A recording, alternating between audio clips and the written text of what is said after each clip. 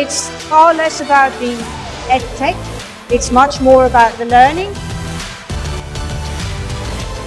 We're very excited to, to be part of it. W- Within Europe, it's, uh, there's nothing else like it. It's a unique event and it's one that I would recommend to everyone.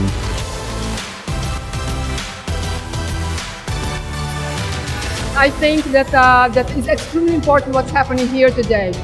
We meet entrepreneurs, we meet investors, we meet uh, people from all over the world, and this connection is what can give us hope to, uh, to accelerate innovation within the educational systems.